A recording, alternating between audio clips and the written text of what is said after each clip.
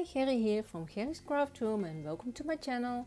In this video I'm going to show you how I make a rainbow background with a smooching technique and pixie powder. For this technique you need pixie powder or other mica powder and a piece of acetate.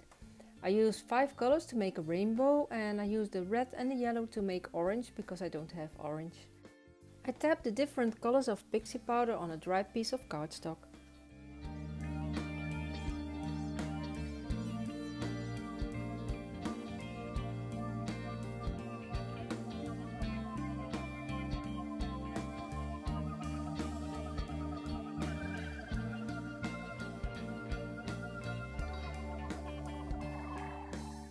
Then I spray the acetate with some water.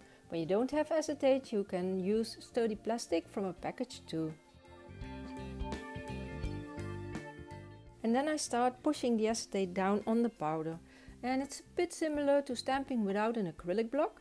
Just smoosh and brush with your fingers, bend the acetate, lightly touch the paper, adding some color drops here and there. And you can decide where you want the colors to go.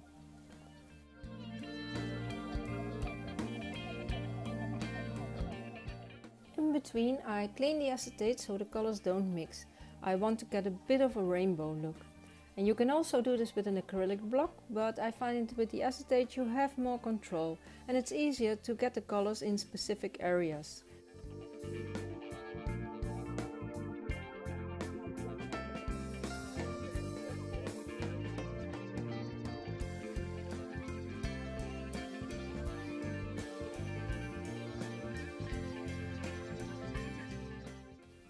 When I like the result I let it dry and then I turn this colorful background into a card.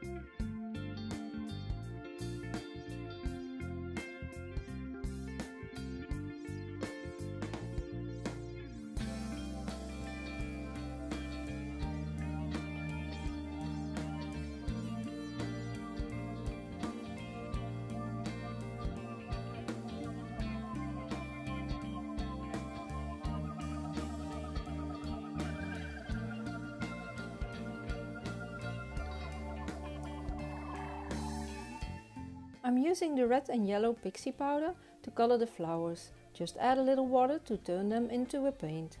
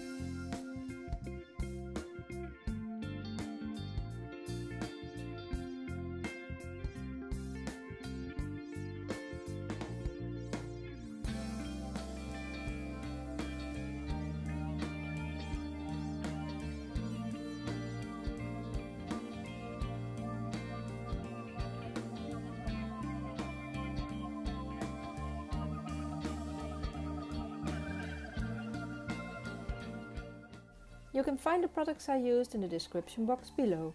If you liked my video, give it a thumbs up and share it with your crafty friends. Don't forget to subscribe and I'll see you in the next video. Thanks for watching!